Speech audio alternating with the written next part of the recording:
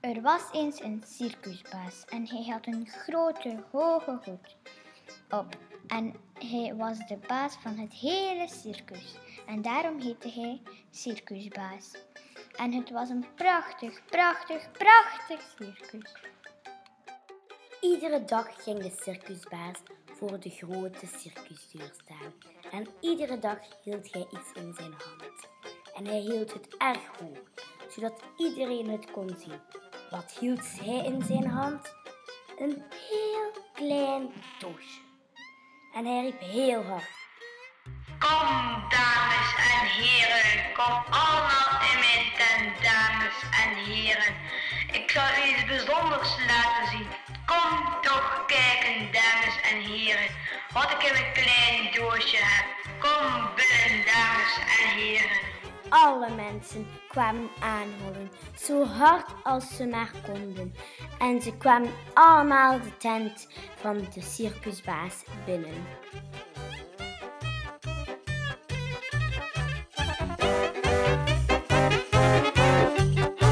En als iedereen binnen was, zei de circusbaas: Kijk, dames en heren. Kijk, dames en heren. Kijk. En dan deed hij het kleine doosje open en wat kwam eruit? Het aller, aller, aller, aller, allerkleinste hondje van de hele wereld. En dat was Pieterpaf, het circushondje.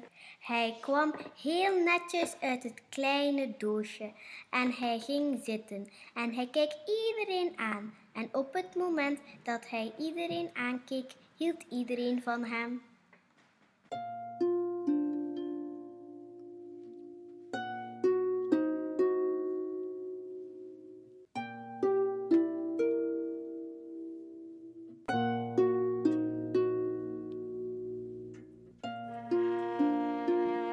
Dan zei de circusbaas, ja, ik weet dat best iedereen van mijn kleine Pieterpaf houdt. En het is zo jammer, hij kan geen kunstjes, hij kan niet eens opzitten. En hij kan niet eens een poot geven, maar dat hindert niet. Want het is zo'n lief klein hondje dat iedereen van hem houdt. En dat was ook zo. Iedereen hield van de kleine Pieterpaf. Er was een clown met twee hoofden, maar het ene hoofd was van iemand anders, geloof ik. En die clown hield van Pieter Paf. Er was een chique dame en ze kon haar rug helemaal buigen. Ze kon haar voeten tegen haar hoofd tikken en zij hield van Pieter Paf. En er was een waakzegster, helemaal in het zwart. Zelfs haar haren waren zwart. Zij kon uit één hand alles voorspellen en zij hield ook van Pieter Paf. Er was een mevrouw die met vogels kon praten, zelfs met roofvogels, en zij hield ook van Pieter Paf. Er was een goochelaar en die kon een ijsbeer in een olifant veranderen. En hij hield ook van Pieter Paf. En er was een dunne dame met een bloedrode cape. In de nok van de tent ging ze met een touwtje heel hoog boven de piste. En ook zij hield veel van Pieter Paf. Er was een olifant die onder een andere olifant door kon kruipen. Zij hielden ook van Pieter Paf. Er waren ook twee heel magere meisjes. De ene kon op haar ha- handen staan en de andere kon haar benen als een plank houden. En ook zij hielden van Pieter Paf.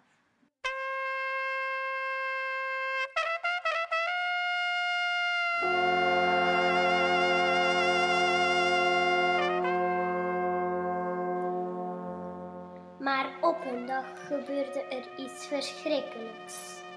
Op een dag begon die kleine Pieter Paf te groeien. En hij groeide. En hij groeide. En hij groeide. En hij groeide.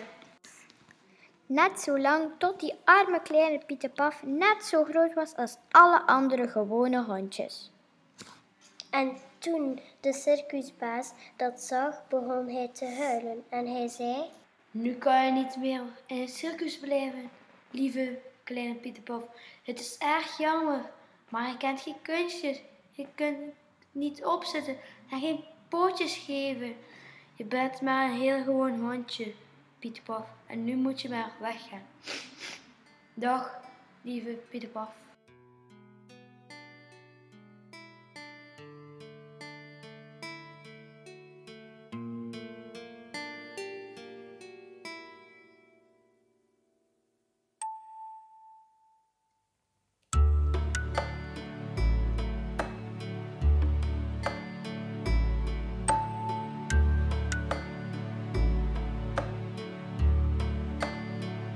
En toen begon het hele circus te huilen. En het hele circus zei...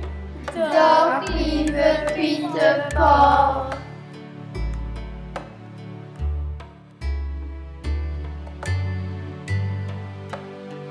En de arme Pieterpaf ging de tent uit. Erg verdrietig en erg verwonderd. En erg langzaam. En ze wurfden hem allemaal goedendag.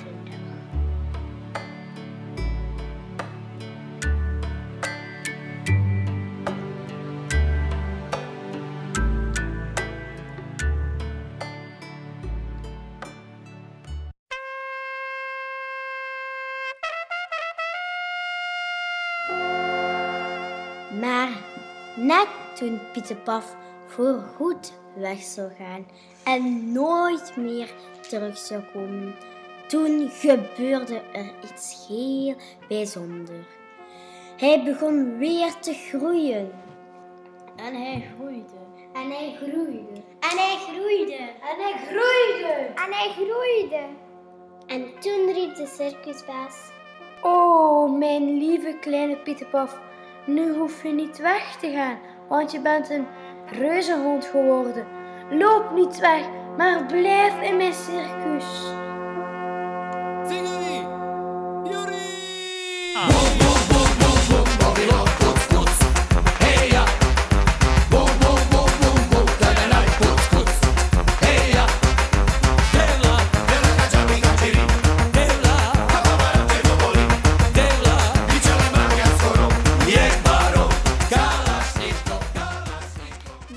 Pieterpaf bleef in het prachtige circus en iedereen hield van hem. Iedere dag voordat het circus begon, stond de circusbaas naast een hele, hele grote doos. En hij riep heel hard. Kom, dames en heren, kom allemaal in mijn tent. Dames en heren, ik zal u iets bijzonders laten zien.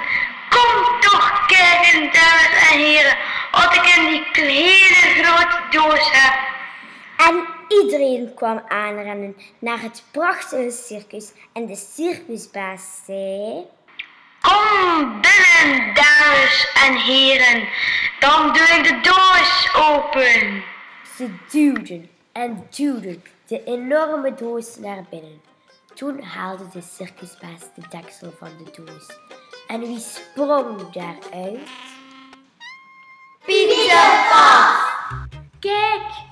Mijn lieve kleine Pieterpaf, zei de circusbaas. Hij is nu de grootste hond van de hele wereld en ik hou erg veel van hem. En iedere keer dat de circusbaas zei...